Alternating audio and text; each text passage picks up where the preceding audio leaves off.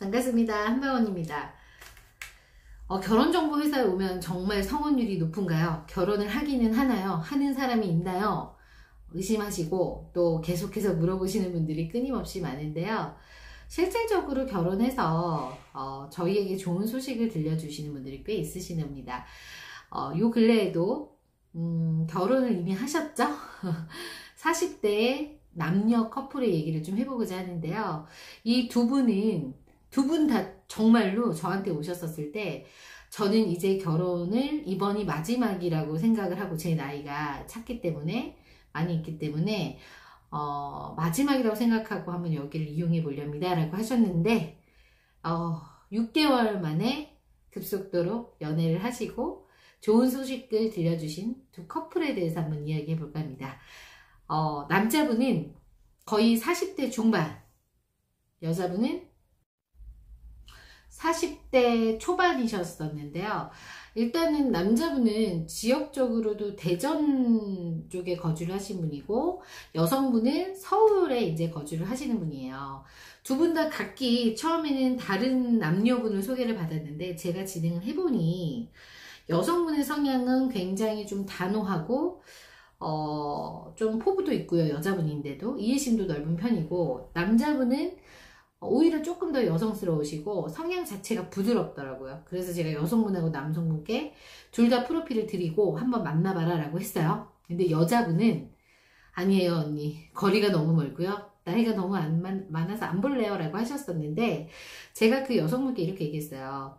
내가 널 이렇게 몇 번을 진행해보니 너의 성향이 아주 여린 건 아니다.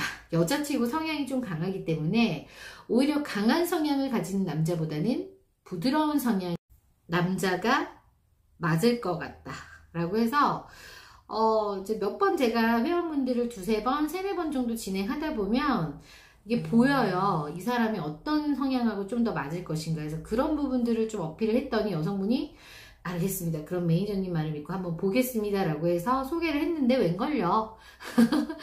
뭐 제가 얘기하지 않아도 두 분이 뿅 하고 가셨더라고요.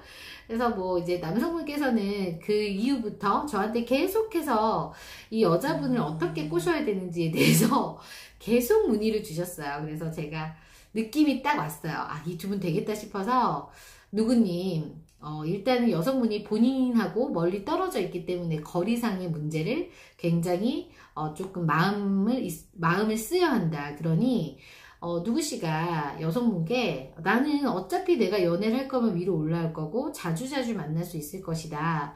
음. 내가 노력을 할 거다. 어, 그러니 그런 거는 걱정하지 말아라.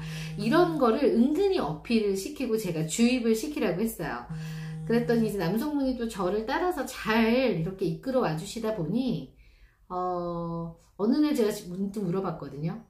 누구님, 여성분하고 어때요? 교제 중이세요? 그랬더니 정말 깜짝 놀래게, 어, 정말 교제 중입니다. 라고 이제, 어, 오셨더라고요. 그래서, 어, 되게 사람의 인연이라는 거는 굉장히 좀 신기하다는 생각도 했고, 그 여성분이 그렇게 만남을 안 하겠다라고 했던 남자분에 대해서 만남을 하다 보니 본인이 만나봐도 괜찮거든요. 본인을 잘 받아주고, 그러다 보니 이제 나중에는 오히려 저한테 대표님의 안목이 맞았던 것 같습니다.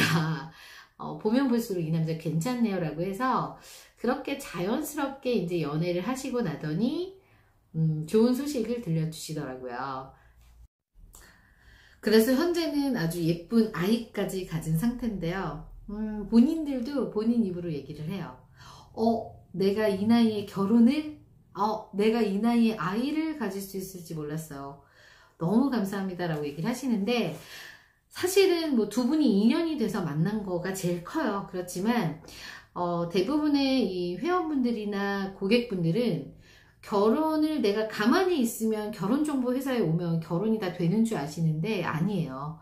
어느 정도 결혼은 정말 만들어가는 거예요. 그래서 어, 이 사람이 마음에 든다고 하더라도 내가 어떻게 전략적으로 이 사람이 원하는 것을 어떻게 알고 공략하느냐가 제일 중요한데 아무래도 가운데서 매니저가 이렇게 조금 중간다리 역할을 해주다 보면 어, 결혼에 걸리는 기간이 아무래도 짧아질 수밖에 없죠. 생각해 보세요. 나 혼자 이 남자 혹은 이 여자가 너무 마음에 들어서 조금 어떻게든 좀 빨리 잘해보고 싶고 꼬시고 싶어요 정말 근데 이거를 나 혼자 막 하려고 하면 사실 힘들어요 근데 아무래도 어, 이 상대편에 대해서 나 말고 전폭적인 지원군이 매니저가 옆에서 이 사람은 이런 걸 좋아하고 내가 진행해보니 이런 남자 이런 여자 스타일을 좋아하더라. 그래서 이런 걸 좀 어필해보라 라고 해서 매니저하고 단둘이 그러니까 매니 혼자 여성분 남성분을 내가 공략을 하는 것과 매니저하고 이렇게 해서 두 명이 또 이렇게 같은 편이 돼서 이성 한 명을 또 이렇게 어, 내 편으로 만들어서 내 짤을 만드는 게 훨씬 더 쉽지 않을까요? 그쵸. 생각만 해도 그럴 것 같지 않아요? 그래서 일단은 결혼은 누차 아까도 말씀드렸지만 만들어가는 게 절반 이상이다라고 생각하시면 돼요.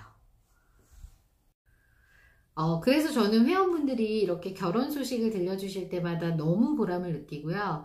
언니 저 상견례 해요. 뭐 이번에도 어, 코로나 때문에 좀 미뤄지긴 했지만 6월에 상견례 합니다. 상견례 하고 나서 찾아뵐게요 라고 하는 소식 그 다음에 뭐 청첩장 보내드릴게요. 이런 소식 들을 때가 제일 행복하고 제일 보람되죠. 말로 설명할 수는 없어요. 그런데 또 특히나 정말 이번 한 해는 어, 결혼을 하시면서도 또 아이까지 같이 가지고 오신 회원분들이 또 몇 명 돼요. 그래서 어, 만약에 그분들이 이거를 보고 있다라고 하면 몸 관리 잘 하시고요. 어, 그리고 지금 또 현재 활동하고 있는 회원들 또한도 결혼을 이렇게 만들어가는 것이고 또 앞으로 결혼을 꿈꾸로 꿈꾸고 계신 분들도 결혼은 정말 만들어가는 거고 전략이기도 해요. 그래서 일단은 어, 오늘은 이런 얘기를 좀 드리고 싶었습니다. 어, 본인들도 하실 수 있어요.